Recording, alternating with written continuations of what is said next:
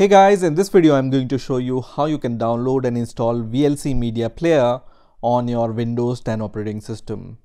VLC Media Player is a free and open source portable cross-platform media player which you can download and install on your Windows 10 operating system. So let's see how we can download and install VLC Media Player.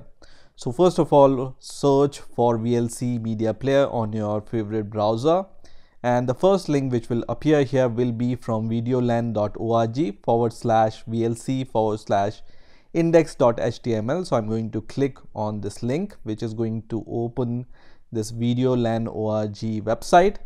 And straight away on this landing page you will be able to see this uh, big download button. So i'm going to click on this download button and then i'm going to save this executable file which is VLC whatever version you are downloading which is 3.0.4 at the time of making this video hyphen win64.exe file. So I will wait for this download to complete and once this VLC executable file is downloaded I'm going to just click on this executable file and then I'm going to say yes and I'm going to minimize the browser. Now you will be able to see this installer window which will ask you to provide the language in which you want to install VLC Media Player. I will leave it as default which is English and then click OK. And then you just need to click next and then you just need to read this license terms and conditions and if you agree with those license terms and conditions you can click uh, next and then these are the tools which will be installed on your Windows 10 operating system so I will leave everything as default and then click next. And this will be the location where VLC media player will be installed. So if you don't have the good reason to change this path, you can just leave it as default and then click install.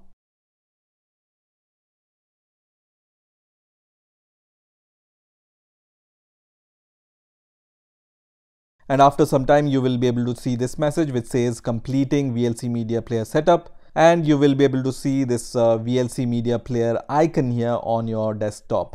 So you can just leave this checkbox checked which is going to launch the VLC media player once you click on the finish button. So I'm going to just click on finish button which is going to launch the VLC media player.